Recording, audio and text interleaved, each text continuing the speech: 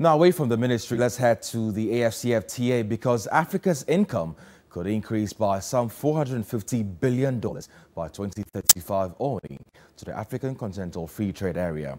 Deputy uh, Finance Minister John Kumah, who acknowledged AFCFTA as a game changer for Africa, expects African governments to anchor their post-COVID-19 recovery on unlocking productive capacities across strategic sectors. My colleague George Quaining was at the Africa Globalized Investment Forum in Accra and reports.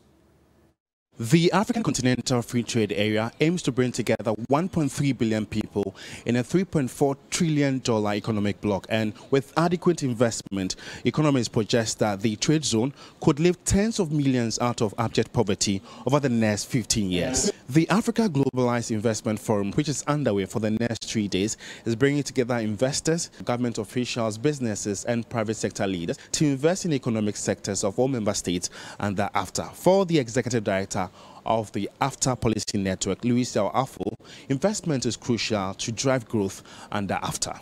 And currently, we are also sending investors to meet the GIPC. They want to know what our needs, which areas they can do. We also hope to announce that the next country to host the summit will be an African country, and we'll announce it on the third day.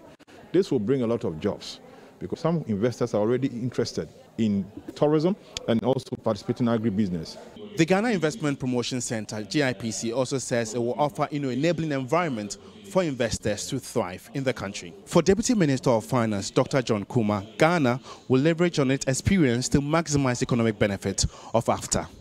Through the AFTA, we are a step closer to yielding economic benefits such as $16 billion in welfare gains, additional GDP growth of 1 to 3 percent, employment growth of at least 1.2 percent, intra-African trade growth of about 33 percent, and a 50 percent decline in Africa's trade deficit. The three-day forum, which is under the theme Hand in Hand with Africa, Investment Opportunities and After, is expected to end on Wednesday, but we will be part of all the sessions and update you subsequently in our bulletins.